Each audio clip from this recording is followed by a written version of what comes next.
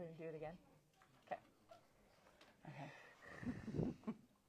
Welcome to Live in the Classroom. I'm Erica Fernandez with CCISD Communications, and today we're live at Clear Creek High School in Miss Cardella's class. Miss Cardella, what is this class today? So this is AP Capstone Research. It is a course um, designed by College Board, and it allows students the opportunity to become experts in their field. Um, so what that means is they actually go out and collect um, information and sources based on a topic of their particular interest. And then based on what they find, they design, they discover a gap and then design a research project to go out and explore and actually collect data and become an expert in that field and then present that to College Board. And so, what are your students doing here today? So, today they're actually working on um, a concept called hexagonal thinking. Um, it has been something that has been uh, in design across the district from several different teachers, um, my ELA coach. Um, and so, this year we are putting it into implementation. And so, they are looking at thinking of ideas and concepts in a hexagonal understanding. So what that means is a hexagon has six different sides. And so it's a matter of them bringing together concepts and ideas in a unique way that makes sense to them. So the purpose of today is to get them to listen to their classmates, mm-hmm. to understand different perspectives, and to hopefully come to a consensus as to how that will A capstone research class on in here. All right, you guys. So, um, a reminder as of yesterday, we started looking at hexagonal thinking. All right. Um, the purpose is for you to collaborate with your classmates, which y'all did yesterday. You did a great job. We're going to take the same approach that we did yesterday, but we're going to look at a different topic. And I'm upping the ante and I'm giving you now 20 terms instead of just 10. And based on the conversation that we had yesterday on some of the things that you have and deal with in school, stress debunked is going to be our topic. Um, so remember, as you're collaborating with your with your team, I want you to feel like your voice is heard. I want you to um, vocalize different perspectives. That is one of the most important parts of this, and then come to a consensus as to how you want um, the different terms to match up. And you can have different types of designs and styles. As we saw yesterday, you all had different shapes on your table. So here's what we're going to do. Here are your terms for today. So again, um, the topic is stress debunked. All right. And um, we will follow this up with a live TED talk later on, but I want to get your thoughts and ideas on how you are going to partner these terms. So on your table, you're going to see that you have your hexagons similar to yesterday. All right. And you have these 20 terms. All right. And or phrases. And what I want you to do as a team, you're going to write one of those down on each of the hexagons, and then you're going to work on manipulating them on your table, making connections and talking about why and how those connections are significant. Okay? Um, you'll write your terms on those hexagons. You might even consider grouping the terms similar to how you've done lenses in the past in seminar. You might add colors, or you might group them in a way that makes sense to your team. All right? you're going to create intentional formations among those hexagons. And what I mean by that is I want you to think about what are some connections based on similarities, what might be terms or ideas or concepts that are contradictions to each other, what might be a cause and effect relationship, um, and or anything that might step outside of the box um, that you can bring to the table. Do you guys have questions? Then you have the little arrows and with those arrows, um, after you do your hexagonal thinking and get those terms mapped out, you're going to choose two to three of those arrows to focus on specific relationships that you think are relevant in regards to this topic. So you would zero in on three points. Now, a little bit different from yesterday. After you get, I'm going to give y'all about 10 minutes to work on framing your hexagons. And then I'm going to have each table do a quick presentation as to your thinking. So you have your whiteboard in front of you. So if you want to take notes or if you want to have some bullet points, um, you may do so as you go. Any questions? All right, have fun. Here are your terms.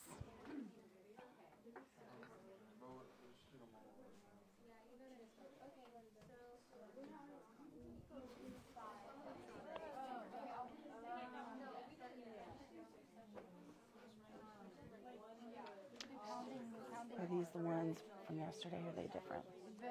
So whatever ones, just do it on the back. Yeah. That's one from yesterday too.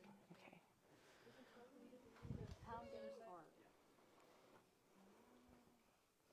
Is, that's kind of funny that you did that one first, Emily. Yeah, stress makes me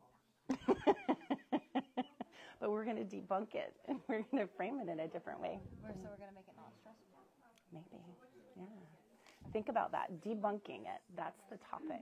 Okay. Debunking stress. So, um, what could be healthy? Healthy? I think it's good to have a pounding heart. Means you're alive. It means you're alive. I'll write that down.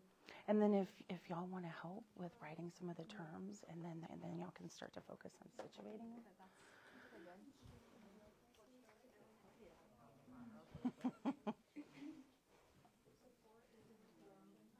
Are you already starting to make relationships here? Oh, oh okay. Okay. Okay.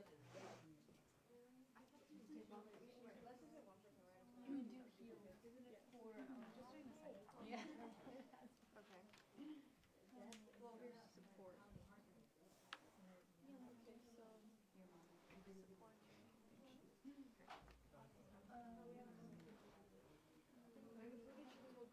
Are you starting to make some connections already? What are you seeing so far? Humans connect through yeah. uh, do heal. Yeah, you, you could do that. Okay, but like it connects. What does? No, that's true. And then Oh, I like that uh, connection. What would you do that with? And remember, it doesn't have to just be similarities. It can be things that contradict each other as well. Let me, yeah, here, let me put the um, relationships up. Oh.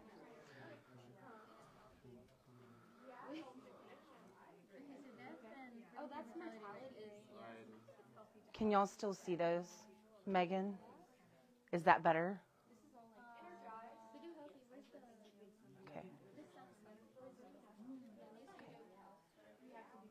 Hey, class, y'all remember, hey, Capstone, remember, it doesn't have to be similarities, right? Those connections that you're making. It can be contradiction, it can be cause and effect, or it could be how these concepts are talking to each other. So you can branch outside the box, okay? Don't feel confined. Um, Resilience is yeah, like whenever you're overcoming, it's like similar to perseverance. Like no matter what, you keep getting knocked down, you're gonna keep b- bouncing back. You have to be caring to to help have healing connections. How y'all doing over here?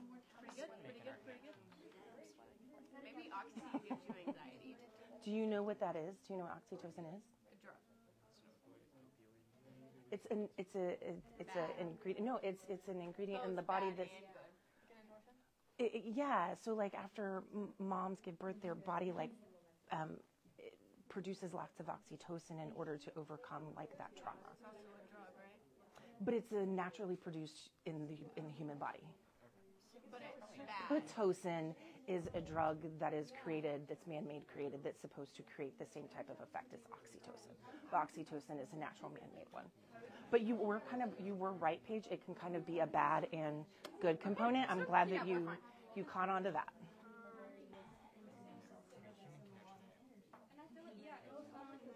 This is kind of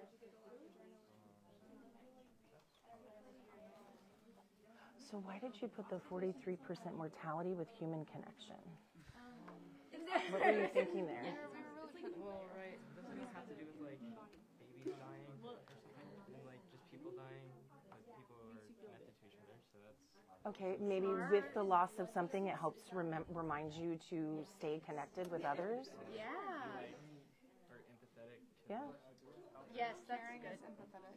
Yes. Okay, I like that. And yeah. And then um, Oh wait, and then maybe like but healthy is both of these, and then you're also energized. but stress is anxiety. causes anxiety. Now, can energize be both negative and positive? I think. I yeah, Because you originally had it over here with like anxiety, so I'm just like curious. Can it be? Could it be both? If you're energized, I think so. I mean, or do we associate it more like on a positive level and like stress and anxiety is more? Okay, all right, that's fair. Heart pounding goes with anxiety, I feel like. Okay, and high blood pressure. Oh, and it's also helpful because you need your heart to be alive. how y'all doing over here? Ooh, I like the shape y'all are making. It's okay. Yeah. it should be human.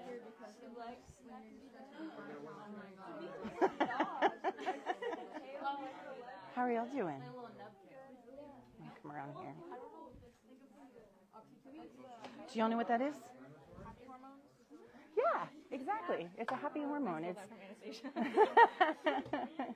yeah, it's a it's a hormone um, that's created in the body like um, during times of stress, trauma, um, and it's a natural made um, hormone. And then pitocin is the man-made version of it.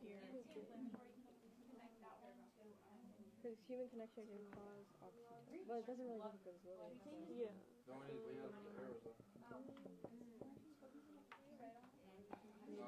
Support this over here, or does that not quite?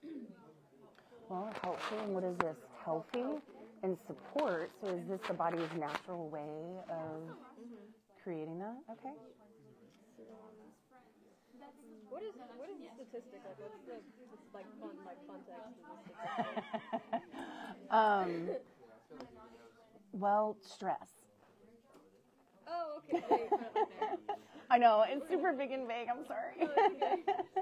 but yeah, it's it's kind of it's connected with this idea of stress. If you don't have it, yes, that is one. Oh yeah, you know what? Or you could put we could connect pressure Put a timer on. Connect pressure to like stress and anxiety because we have this like little loop right here as far as burning out. Um, Oh, okay. we have that as like a subgroup. So then you can connect. I guess if this is the if that's the context of this statistic, you can connect it to this one maybe. Would you think that that would go over here, or do you think it might go with more like one of those physical traits of like constricted of blood flow, Well,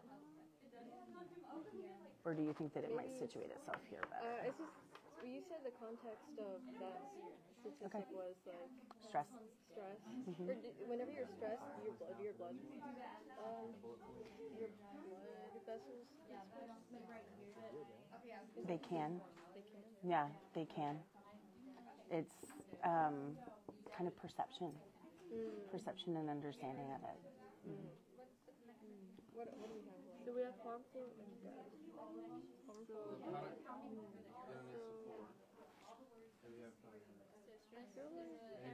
Yeah, probably. Support the stress can bring down. So the pounding heart is a symbol, is a symptom of stress and support can. or should we connect it more for, Right. for I guess.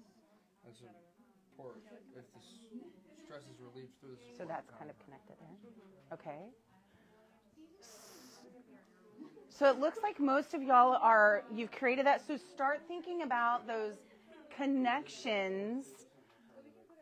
Ladies and gentlemen, let's, real quick, um, start thinking about three specific connections that you feel are most valid and are important about this idea of debunking stress. And then start maybe taking some notes on your whiteboard and thinking about who might want to present. Um, I'm going to give you all about another three minutes. Uh oh. So you do it with? Huh? You can either write on the arrow or you can write on um, the whiteboard, whichever. Yeah. Huh? So you said we're talking about how to debunk the stress? Yeah. Okay. Wait, our things are messed up. Well, we kind of we kind of said that right here. Yeah.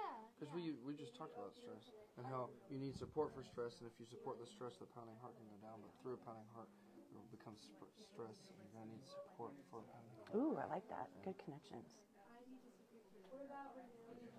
So we really are live on Facebook. I. Oh, you're you got you got a hot mic. I'm mic'd up. So they can hear you like the whole time? Yeah, they can hear you. I'm sure my parents are watching. Hi, Mom. Okay, what's this one? Pressure and resilience. Yeah, I bet you, I'm guarantee you she's listening.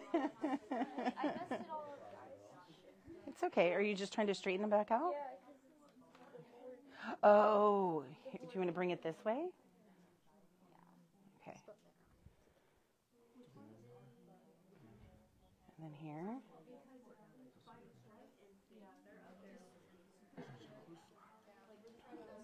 Interesting. We had the same kind of like um, flow yesterday. Yeah, yeah, we had like two central. Yeah. So that's interesting. So then you might kind of think about is that how your mind thinks about the concepts and ideas conceptually? We have like a very like split brain a little bit, to where we're like thinking about things in like two separate. Different. Yeah. Mhm. Kind of black And then I think it's interesting that your arrows are kind of along the way. So you're kind of showing like that evolution of it as well, which is interesting. Yeah. Are we only pre- pre- presenting one connection or all of them? Um, I would say at least two. So target two, kind of depending on our time frame. Okay.